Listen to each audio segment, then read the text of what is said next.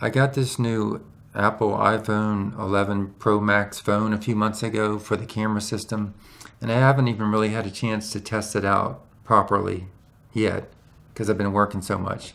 But today I've got a little bit of time, so I'm going to be comparing this phone to my older phone, the Galaxy S9 Plus. Just the rear cameras, main cameras.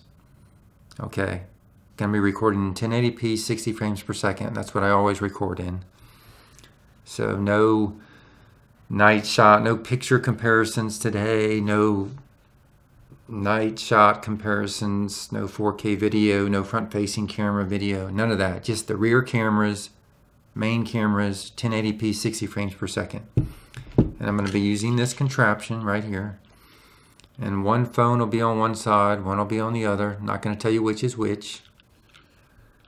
And just to walk around and film some stuff. And come back and look at the footage and see which is better. And I'm expecting the iPhone to blow the other one away because that's why I got it. Because I had watched a lot of YouTube videos and was really impressed with what I saw. So, like I usually do, one will be labeled A, one will be labeled B, and I'll tell you which is which at the end of the video.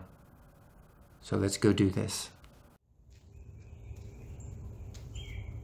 Can you tell a difference in the cameras? Which one's better?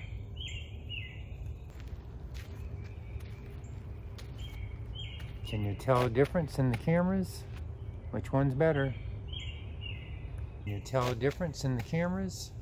Which one's better?